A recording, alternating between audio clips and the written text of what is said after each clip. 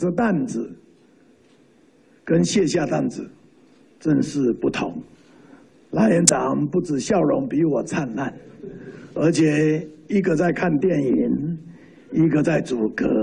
这句话是对着台下的前行政院长赖清德说，因为这天过后，赖清德坐上游览车回台南养精蓄锐，行政院长苏贞昌要开始再冲一次，接地气，做努力，只有成绩才是一切，只有做出好，让人民感觉好才是王道。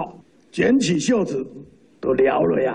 上午才说完，苏仁昌中午立刻到行政院员工餐厅吃午餐，贴近基层公务员，还有这个动作超暖心。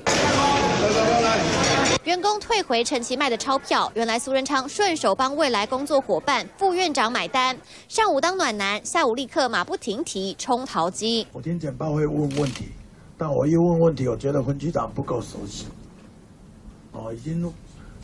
黄字这么久了，我不是要看那一支简历钱，是要看那个字，所以华单的执行力很低嘛，四十几张只有两张。哎，目前交了两张二十万的，那其他的部分是陆陆续续在询问怎么样缴。所以只是开单嘛，达不到处罚的效果。官员在台上脸部超僵硬，苏贞昌下马威，仿佛立刻回到十三年前，严苛出了名的苏院长。冲冲冲！第一天没有蜜月期。三立新闻陈列张慧前日小组综合报道。